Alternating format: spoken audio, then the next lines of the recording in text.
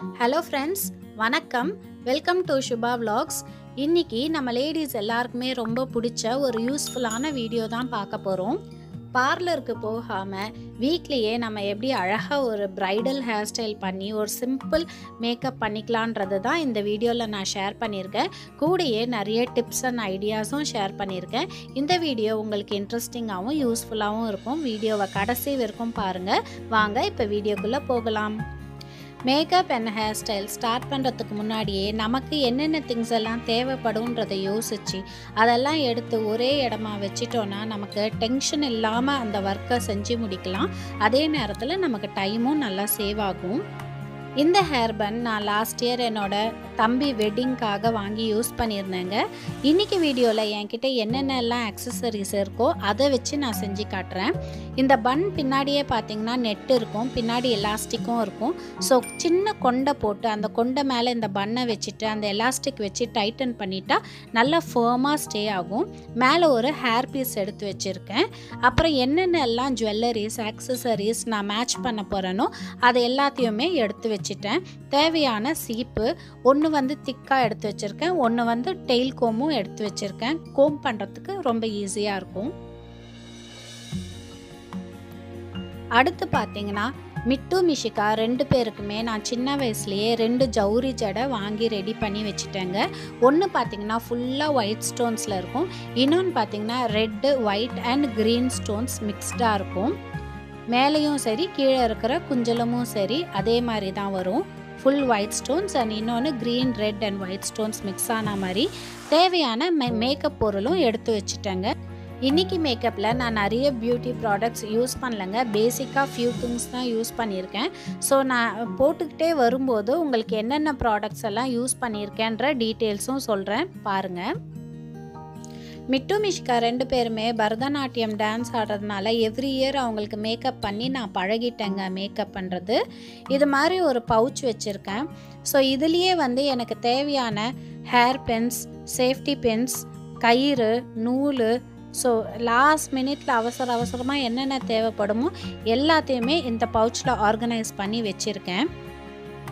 First இப்போ face மேக்கப்லேருந்து start பண்ணுறேங்க மேக்கப்புக்கு முன்னாடி இப்படி தான் இருக்கா? மேக்கப் போட்டதுக்கப்புறம் ஓரளவுக்கு இது மாதிரி இருக்கா?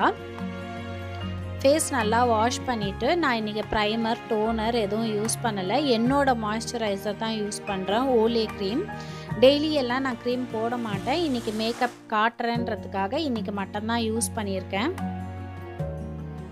நம்ம மேக்கப் போடுறதுக்கு முன்னாடி நல்லா ஐஸ் வாட்டரில் இல்லைன்னா ஐஸ் க்யூப்ஸ் வச்சு ரப் பண்ணிவிட்டு அதுக்கப்புறமா மேக்கப் செய்ய ஆரம்பித்தோன்னா அந்த மேக்கப் லாங் ஹவர்ஸ்க்கு ஸ்டே ஆகும். ஃபேஸும் நல்லா ஃப்ரெஷ்ஷாக இருக்கும். அதே மாதிரி மேக்கப் பண்ணும்போது பேஸ் ஸ்டார்ட் பண்ணும்போதே நம்ம காது கழுத்து எல்லாம் மிஸ் பண்ணாமல் எல்லா இடமும் காது கழுத்தும் கவர் பண்ணி க்ரீம் போட்டு பவுடர் போட்டுடணும். இன்றைக்கி நான் Lakme nine to five foundation use பண்ணியிருக்கேங்க. இது வந்து மூஸ் ஃபவுண்டேஷன். இது ஸ்டிக்கோ இல்லை லிக்விட் ஃபவுண்டேஷனோ இல்லை இது நல்ல ஒரு பவுடரி க்ரீம் மாதிரி இருக்கும். ஆனால் ட்ரை ஸ்கின்க்கு இன்னும் ட்ரையாக இருக்கும். அதனால் கண்டிப்பாக மாய்ஸ்சரைசர் யூஸ் பண்ணிவிட்டு அதுக்கப்புறம் இதை யூஸ் பண்ணும்போது ஸ்கின்னோட நல்லா பிளெண்ட் ஆகிடுங்க நீங்கள் நம்பி ஒரு ஃபவுண்டேஷனுக்கு போகணும் அப்படின்னா இது கண்டிப்பாக நான் ரெக்கமெண்ட் பண்ணுவேன். இது வந்து ஆல்மோஸ்ட் எல்லா எல்லா ஸ்கின் கலர்ஸ்க்குமே மேட்ச் ஆகிடும் எங்கள் வீட்டில் பார்த்தீங்கன்னா நாங்கள் எல்லாருமே டிஃப்ரெண்ட் ஸ்கின் டோன்ஸ் தான். ஆனால் இதை யூஸ் பண்ணும்போது எங்கள் எல்லாருக்குமே நல்லா செட் ஆயிடுச்சு. இதை போட்டாலுமே நல்ல ஒரு ஃப்ரெஷ்னஸ் கொடுக்கும். ஃப்ரெஷ் லுக்கு கொடுக்கும். பிரைட்டாக தெரியும். நல்ல ஒரு ஃப்ராக்னன்ஸும் இருக்குது இதில். ஸோ டெய்லி யூஸ் பண்ண போகிறதில்ல எப்பயோ ஒரு வாட்டி தான் யூஸ் பண்ணுறோம் அதுக்கு நிறைய ஷேட்ஸ் வாங்கி வச்சுக்கிட்டோன்னா அது கண்டிப்பாக எக்ஸ்பயர் ஆகிடும் டேட்டு அதனால் நான் ஒன்றே ஒன்று தான் வெ வச்சுருக்கேன். அதை தான் யூஸ் பண்ணுறேன் ஆனால் எல்லாருக்குமே எங்கள் ஃபேமிலியில் ஸ்கின் டோன்ஸ் எல்லாருக்குமே அது செட் ஆகுதுங்க. இதுவும் நான் ஆன்லைனில் தான் வாங்கினேன். அமேசானில் பேஜ் வெண்ணிலா ஜீரோ டூன்னு நினைக்கிறேன் ஷேடு நான் வந்து இதை டிஸ்கிரிப்ஷன் பாக்ஸில் இதோட லிங்க் ஷேர் பண்ணுறேன் வேணுன்றவங்க யூஸ் பண்ணிக்கோங்க. இதை ஃபேஸ் ஃபுல்லாக லைட்டாக டாட்ஸ் மாதிரி அப்ளை பண்ணி அப்படியே டேப் பண்ணாலுமே ஸ்கின்னில் அழகாக பிளெண்ட் ஆகிடும் இது இதை முடித்த உடனே அடுத்த ஸ்டெப்பு லூஸ் பவுடர் மேலே அப்ளை பண்ணிட போகிறேங்க இது வந்து நார்மலாக நான் யூஸ் பண்ணுற கோகுல் சாண்டால் பவுடர் அதை இந்த பாக்ஸில் போட்டு வச்சுருக்கேன். ஸோ இது லூஸ் பவுடர் வச்சு அந்த மேக்கப்பை செட் பண்ணிடுறேன். இப்போ பாருங்கள் பவுடர் போட்ட உடனேயே ஃபேஸ் வந்து நல்லா பிரைட் லுக் வந்துருச்சு இல்லையா? இது வந்து நான் ரொம்ப நார்மலான மேக்கப் தாங்க காட்டிக்கிட்டு இருக்கேன் இப்போ நீங்கள் பிரைட் இல்லை உங்களுக்கு ஃபங்க்ஷன்னா கண்டிப்பாக டோனர் அண்ட் ப்ரைமர் யூஸ் பண்ணிவிட்டு இதே மெத்தட் யூஸ் பண்ணுங்கள் இன்னும் கொஞ்சம் ஹெவியாக போட்டுக்கலாம். ஏன்னா த்ரீ ஃபோர் ஹவர்ஸ் நீங்கள் நிற்கணும் ஃபங்க்ஷனில் இருக்கணும்னும் போது அது ஸ்டே ஆகணும் இல்லையா? அதனால் இன்னும் ஒரு லேயர் இதே மாதிரி கொஞ்சம் திக்காக போட்டுக்கலாம். இது வந்து நார்மலான மேக்கப் காட்டிக்கிட்டு இருக்கேன் இப்போ ஐப்ரோஸ் டச் பண்ணிக்கிறேன். அடுத்து என்கிட்ட இருக்கிற ஐஷா ஐஷேடோ பேலட் வச்சு அவளுக்கு என்ன மேட்ச் ஆகுமோ அந்த கலர் இது வந்து கோல்டன் அண்ட் மெரூன் வந்து யூஸ்வலாகவே நம்ம எந்த கலர் ட்ரெஸ் போட்டாலும் நேச்சுரல் லுக் கொடுக்கும். நல்லா பிளெண்ட் ஆகும் ஃபேஸ்க்கு கலருக்கு ஸோ நான் இதை யூஸ் பண்ணி அவளுக்கு ஐஷேடோ கொடுத்துட்றேன். ஐ ஷேடோ கொடுக்கும்போது நம்ம வந்து அந்த மை வைக்கிறோம் இல்லையா? ஸோ கண்ணுக்கு கீழ்ப்பகுதிலையும் அதை கொஞ்சம் கொடுத்துட்டோன்னா அந்த மெரூன் கோல்டன் பிங்க் கலர் இது மாதிரி கலர்ஸ் வந்து கண்ணுக்கு கீழேயும் கொடுத்தோன்னா நல்லா பிங்கிஷாக இருக்குங்க கண் ஸோ உங்களுக்கு சப்போஸ் இப்போ டார்க் சர்க்கிள்ஸ் இருந்தது ஐ பேக்ஸ் இருந்ததுன்னா இந்த டிப் யூஸ் பண்ணி பாருங்கள் நல்லா ஒர்க் ஆகும். கலர் பாருங்கள் இப்போ கண் ஃபுல்லாகவுமே ஒரு பிங்கிஷ் கலரில் இருக்கும். காஜல் அப்ளை பண்ணிடுறேன். இன்றைக்கி நான் ஐலைனர் யூஸ் பண்ணலைங்க. யூஸ்வலாக டான்ஸ்க்குன்னும் போது ரொம்ப டார்க்காக ஹெவியாக போடுவேன். விங்ஸ் எல்லாம் வச்சு இன்றைக்கி வந்து ரொம்ப சிம்பிளாக ஒரு காஜல் மட்டும் வச்சுருக்கேன். ஸோ இதில் பாருங்கள் காஜல் ஹெவியாக வச்சுருப்பேன்.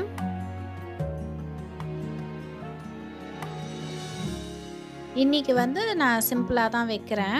மேலே ஐலைனர் எதுவும் யூஸ் பண்ணலை. அடுத்து ஒரு லிப்ஸ்டிக் வச்சிடுறேங்க. இது இன்றைக்கி வந்து நான் ரெட் கலர் லிப்ஸ்டிக் யூஸ் பண்ணுறேன் ஃப்ரெண்ட்ஸ் அடுத்து ஒரு சின்ன டிப்பு எப்படி நம்ம பேசிக்கான ப்ராடக்ட்ஸ் வச்சு நல்ல ஃபேஸை க்ளோயிங்காக காட்டலாம் அப்படின்ட்டு. இது என்னோடய ஐஷேடோ பேலட் தான். இப்போ நம்ம ஹைலைட்டர் யூஸ் பண்ணோன்னா ஃபேஸ் நல்லா க்ளோயிங்காக இருக்கும். தனியாகவே ஹைலைட்டர்னு கிடைக்குது. ஸோ நோஸோட டிப்பில் லிப்ஸுக்கு மேலே அப்புறம் ஐப்ரோஸ் கீழே இதெல்லாம் வந்து நம்ம இதை லைட்டாக ஹைலைட்டர் எடுத்து லைட்டாக அப்ளை பண்ணும்போது ஃபேஸ் வந்து ஹைலைட்டடாக தெரியும் ஷார்ப்பாக தெரியும். இப்போ மூக்கு வந்து கொஞ்சம் குண்டாக இருக்குன்னா அதை நல்லா ஷார்ப்பாக காட்டலாம். ஸோ நம்ம இது மாதிரி ப்ராடக்ட்ஸ் யூஸ் பண்ணும்போது ஃபீச்சர்ஸ் எல்லாம் ஹைலைட்டடாக தெரியும். கடைசியாக ப்ளஷ் போட்டு மேக்கப்பை நான் ஃபினிஷ் பண்ணிக்கிறேன். பொட்டு மாத்திரம் வச்சிடுறேன் ஃப்ரெண்ட்ஸ் இது வந்து நிறைய பிராண்டில் இருக்குது ஹைலைட்டர் அண்ட் ப்ளஷ் எல்லாம். ஸோ நான் ரொம்ப டீட்டெயிலாக எதுவும் காட்டலை. பேசிக்காக மேக்கப் மட்டும்தான் காட்டிகிட்ருக்கேன் இதுலேயும் கொஞ்சம் டிப்ஸ் கொடுத்துருக்கேன். உங்களுக்கு யூஸ்ஃபுல்லாக இருக்கும்னு நம்புகிறேன் இப்போ பாருங்கள் ஆல்மோஸ்ட் மேக்கப் ஃபுல்லாக ஃபினிஷ் ஆயிடுச்சு. ஆக்சசரிஸ் போட்டுடுறேன். ஏன்னா அப்புறம் தலை வாரினதுக்கப்புறம் என்னால் செயின் எல்லாம் போட முடியாது. இது ஃபுல் செட்டாக இருக்குன்னவே இந்த ஆக்சசரிஸ் யூஸ் பண்ணி எல்லாத்தையும் போட்டு விட்டுடுறேன். ஃபஸ்ட்டு நான் ஃபேஸ் மேக்கப் செஞ்சு முடிச்சிட்டேன். ஃபேஸ் மேக்கப் முடிஞ்சதும் இப்படி தான் இருக்கா? அடுத்து நான் ஹேர் ஸ்டைல் ஸ்டார்ட் பண்ண போகிறேங்க இந்த ஹேர் ஸ்டைலுக்கு நான் சென்டர் பார்ட்டிஷன் எடுத்திருக்கேன். நடு வகுடு எடுத்து நெத்திச்சுட்டி வச்சு நமக்கு தேவையான லெங்க்த்து பார்த்துட்டு ஹேர் கிளிப் வச்சு டைட்டாக செக்யூர் பண்ணிடுறேன். டிக்டாக் கிளிப்ஸ் யூஸ் பண்ணி கூட டைட்டாக செக்யூர் பண்ணிடலாம். இதை புஃபை எடுக்காமல் ரெண்டு பக்கமும் பின்னி கூட இந்த ஹேர் ஸ்டைலை பண்ணலாம். இன்றைக்கி ஆனால் நான் புஃப் எடுத்து அந்த நெத்து சுட்டியை எப்படி மறைச்சி ஹேர் ஸ்டைல் பண்ணலான்றது காட்டியிருக்கேன். இது முன்னால் அவள் தலை குளித்தது நெக்ஸ்ட் டே வந்து லைட்டாக ஆயில் அப்ளை பண்ணிவிட்டு இந்த ஹேர் ஸ்டைல் பண்ணுறேன் அதனால் நமக்கு வந்து ஹேர் ஸ்ப்ரே போட தேவையில்லை முடி பறக்காது. இங்கே பாருங்கள் இதுதான் நான் யூஸ் பண்ண ஹேர் பீஸ் பம்பிட் இது நல்லா ஸ்பாஞ்சியாக இருக்கும் கம்ஃபர்டபுளாக இருக்கும் ஹேரில் ஸ்டே ஆகும்போது. ப்ளஸ் இதில் முள்ளு முள்ளாக இருக்கிறதுனால முடி நல்லா இதோட ஸ்டிக் ஆகிடும் ஒரே இடமா இருக்கும் அசையாமல் எடுக்கிறதும் ரொம்ப ஈஸியாக எடுத்துடலாங்க. இதை யூஸ் பண்ணும்போது ஹேர் நல்லா வால்யூம் இருக்கிற மாதிரி அந்த பொஃப் பெருசாக தெரியும்.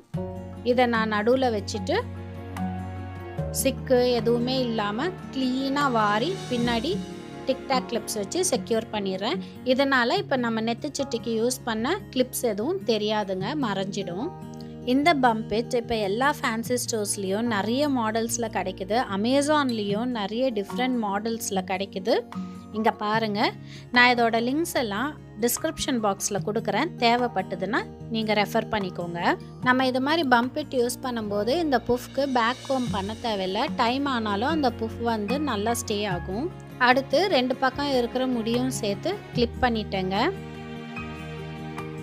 இப்போ பேக் சைடில் சைடில் இருந்து வியூ இப்படி தான் இருக்குது இது மாதிரி டிக்டாக் கிளிப்ஸ் வச்சியும் நம்ம செக்யூர் பண்ணிக்கலாம்.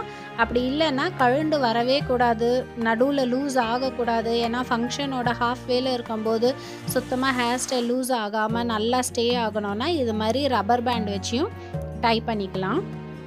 இதை இப்படியே ஃப்ரீ ஹேர் விட்டாலும் குழந்தைங்க அழகாக இருப்பாங்க. இது சிம்பிள் ஃபங்க்ஷனுக்கெல்லாம் இது மாதிரி யூஸ் பண்ணிக்கலாம். நான் மிட்டு மிஷ்காவோட பர்த்டே கூட இது மாதிரி தான் ஹேர் ஸ்டைல் பண்ணியிருந்தேன். பாருங்கள் நான் ஹேர் ஸ்டைலில் என்னென்ன வேரியேஷன் பண்ணலான்னு ஒரு ஐடியா கொடுக்கறதுக்காக இது மாதிரி டிஃப்ரெண்ட்டாக காட்டிகிட்ருக்கேங்க இதையே விட ஜடையாக பின்னி இது மாதிரி கீழே குஞ்சலம் வச்சு ஜவுரி முடி வச்சு ஃப்ளவர்ஸ் வச்சு டெக்கரேட் பண்ணிக்கலாம். ப்ரைடல் ஹேர் ஸ்டைல்னு சொல்லி ஏன் என் சின்ன பொண்ணை யூஸ் பண்ணியிருக்கேன்னு நினைக்காதீங்க. இப்போ எனக்கே செஞ்சு காட்டிக்கணும்னா அது எனக்கு ரொம்ப கஷ்டமாக இருக்கும். வேறு யாரும் இல்லை இல்லையா? அதனால் என் பொண்ணுக்கு கொஞ்சம் முடி நீட்டாக இருக்கிறதுனால அதுவும் மிஷிக்கா வந்து இவ்வளோ பொறுமையாக காட்ட மாட்டா. மிட்டுன்னா பொறு பொறுமையாக காட்டுவா. அதனால் சரி லாக்டவுனில் அவங்களும் இப்போ ஃப்ரீயாக இருக்காங்க. ஸ்கூல் ஆரம்பிச்சிச்சுன்னா பிஸி ஆகிடுவாங்க இல்லையா? அதனால் இப்போ இவங்களுக்கு செஞ்சு காட்டினேங்க.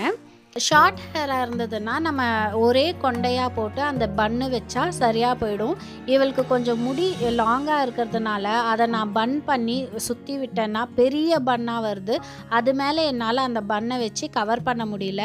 ஸோ நான் இதை மூணு பார்ட்டாக எடுத்து நடுவில் ஒரு சின்ன கொண்டை போட்டு அது மேலே இந்த பன்னை வச்சு அந்த நெட்டு வச்சு கவர் பண்ணிட்டேன். அப்புறம் அந்த எலாஸ்டிக் வச்சு ஒரு ரெண்டு மூணு வாட்டி சுற்றின உடனே நல்லா டைட்டாக செட் ஆகிடுச்சு இந்த பன்னு நான் அகர்வால் ஃபேன்சி ஸ்டோர்ஸ் சவுகார்பேட்டில் லாஸ்ட் இயர் வாங்கினேங்க. இது ஸ்பான்சர் வீடியோ கிடையாது. நான் எந்த கடையிலேருந்து வாங்கினேனோ அந்த கடை பேரை மட்டும்தான் சொல்கிறேன் ஆனால் எல்லா ஃபேன்சி ஸ்டோர்ஸ்லேயுமே இது மாதிரி அக்சசரிஸ் ஹேர் அக்சசரிஸ் கிடைக்கும். சர்ச் பண்ணி பாருங்கள் கண்டிப்பாக கிடைக்கும். அந்த நெட்டை வச்சு கவர் பண்ணி அந்த எலாஸ்டிக் வச்சு சுற்றி விட்டோடனே டைட்டாக தான் இருந்தது. இருந்தாலும் நம்ம செக்யூர் பண்ணுறதுக்காக யூ பென்ஸ் கொண்ட பின்னு வச்சு நல்லா டைட்டாக ஃபிக்ஸ் பண்ணிக்கலாம். ரெண்டு பக்கம் இருந்த பின்னலை நான் இது மாதிரி சுற்றி விட்டுட்டேன். அதுவும் ஒரு டிசைனாக இருந்துச்சு. இந்த பன் வந்து ஹேர் பன் நான் ஃபோர் ஹண்ட்ரட் ருபீஸ்க்கு வாங்கினேங்க லாஸ்ட் இயர் இப்போ அடல்ட்ஸ் எல்லாம் போட்டோன்னு வைங்களேன் இந்த ஹேர் ஸ்டைல் நல்லாயிருக்கும் இப்போ இந்த பண்ணை இதே மாதிரி விட்டுடலாம். அந்த ரப்பர் பேண்டு இருக்கிற இடத்துல மாத்திரம் சின்ன கிளிப்பு இல்லைன்னா ஒரு ஹேர் பீஸ் வச்சு இந்த ஹேர் ஸ்டைலை ஜஸ்ட் லைக் தட் அப்படியே விட்டால் கூட அடல்ட்ஸ்க்கு ரொம்ப அழகாக இருக்கும். டீப் நெக் ப்ளவுஸ் நல்லா டிசைன் பண்ணி ஒர்க் பண்ணி ப்ளவுஸை இது மாதிரி ஒரு ரிசப்ஷன் இல்லைன்னா ஒரு சின்ன ஃபங்க்ஷனுக்கு நம்ம போட்டுக்கிட்டோன்னா ரொம்ப அழகாக இருக்கும். அந்த ஜடை ரெண்டு பக்கம் சுற்றி விட்டதுக்கு நான் எக்ஸ்ட்ரா பின்ஸ் வச்சு கிளிப் பண்ணிக்கிறேன். இப்போ அவளுக்கு நான் வளையல் போட்டு விட்டுடுறேன். ஃப்ரெண்ட்ஸ் இந்த மேக்கப் எப்படி இருந்ததுன்றது கமெண்ட்ஸில் எனக்கு சொல்லுங்கள் உங்களுக்கு இந்த ஹேர் ஸ்டைல் இந்த மேக்கப் பிடிச்சிருக்கா இந்த வீடியோ பிடிச்சிருக்கான்றதையும் எனக்கு சொல்லுங்கள் உங்கள் கமெண்ட்ஸ் எல்லாம் படிக்கிறதுக்கு எனக்கு ரொம்ப பிடிக்கும். ரொம்ப மோட்டிவேட்டிங்காக இருக்கும் உங்கள் கமெண்ட்ஸ் படிக்கும்போது. இங்கே பாருங்கள் ஃப்ரெண்ட்ஸ் அந்த ஜடையை சுற்றி விட்டது பின்னல் அதுவே ஒரு நல்ல டிசைனாக தான் இருக்குது அந்த ரப்பர் பேண்ட் மேலே ஒரு குட்டி கிளிப்பு இல்லை ஹேர் ஆக்சசரி வச்சாலுமே அழகாக இருக்கும். இருந்தாலும் இப்போ ஃபங்க்ஷன் உங்களுக்கு தான் இல்லை நீங்கள் தான் பிரைட் அப்படின்னும் போது இன்னும் ஒரு கிராண்ட் லுக் கொடுக்கறதுக்காக இது மாதிரி ஒரு ஹேர் பீஸ் வாங்கி அது மேலே வைக்கும்போது நல்ல கிராண்ட் லுக்காக இருக்கும். ஸோ இதுவும் ஒரு வேரியேஷனுங்க இப்போ பார்த்தீங்கன்னா அந்த ரப்பர் பேண்ட் போட்ட இடம் எல்லாம் மறைஞ்சிடுச்சு ஒரு க்ளீனாக இருக்கும் ஹேர் ஸ்டைல் இதுக்கு கீழே நான் ஒரு ஜவுரி முடி வைக்க போகிறேன் இது வந்து எவ்ரி இயர் அவங்க பரதநாட்டியம்க்கு யூஸ் பண்ணுறதுனால நான் வாங்கி வச்சுருக்கேன். இதில் வந்து லெங்க்த்து பார்த்தீங்கன்னா அடல்ட்டோட சைஸில் இருக்கும். அதனால் நான் மடித்து அவங்களோட லெங்க்த்துக்கு மடித்து கட்டி வச்சுருக்கேன். அதுலேயே கயிறெல்லாம் போட்டு ரெடியாக கட்டி வச்சுருக்கேன். ஸோ இந்த கயிறை எடுத்து அப்படியே ஃபுல் கொண்டையிலையும் நம்ம போட்டு டைட்டாக கட்டிட்டோன்னா ஜடை அழகாக செட் ஆகிடும் ஃப்ரெஷ்ஷான ஃப்ளவர்ஸ் நம்ம வைக்கும் போது அது சீக்கிரமாகவே வாடி போயிடும். இப்போ த்ரீ ஹவர்ஸ் ஃபோர் ஹவர்ஸ் ஃபங்க்ஷன்னா நம்ம அதுக்கு முன்னாடி ஒரு டூ த்ரீ ஹவர்ஸ் முன்னாடியே ரெடி ஆகணும்.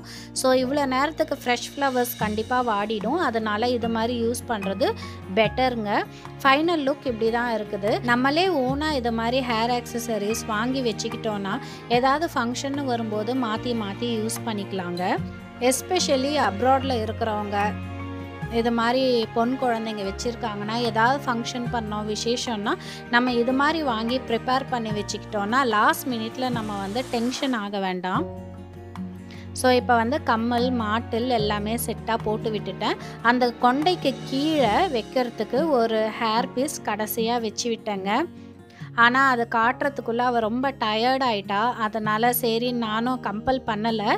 ஃபோட்டோ மாத்திரம் ஆட் பண்ணியிருக்கேன். இந்த கீழே வச்சதுக்கப்புறமா பாருங்கள் ஸோ அது ஃபஸ்ட்டு கீழே வைக்காமல் இருந்தப்போ இன்கம்ப்ளீட்டாக இருந்தது. இந்த கீழே வச்ச உடனே நல்லா ஃபினிஷ்டு லுக் நல்லா இருந்ததுங்க. ஃப்ரெண்ட்ஸ் இந்த வீடியோ உங்களுக்கு யூஸ்ஃபுல்லாக இருக்குது பிடிச்சிருக்குன்னா நம்ம சேனலை சப்ஸ்கிரைப் பண்ண மறந்துடாதீங்க. இதெல்லாம் வந்து நான் அடிக்கடி என் பசங்களுக்கு அப்பப்போ போட்ட ஹேர் ஸ்டைல்ஸோட ஃபோட்டோஸ் ஆட் பண்ணியிருக்கேன். இது மாதிரி வீடியோஸ் உங்களுக்கு பார்க்க பிடிக்கும்னா நம்ம சேனலை சப்ஸ்கிரைப் பண்ணி பக்கத்தில் இருக்கிற பெல் பட்டனை கிளிக் பண்ணி ஆல்ட்ரு ஆப்ஷன் கொடுத்துடுங்க. சேம் ஹேர் ஸ்டைல் அண்ட் மேக்கப்போட அடுத்து வர வீடியோஸில் நான் அப்லோட் பண்ணுறதா இருக்கேங்க.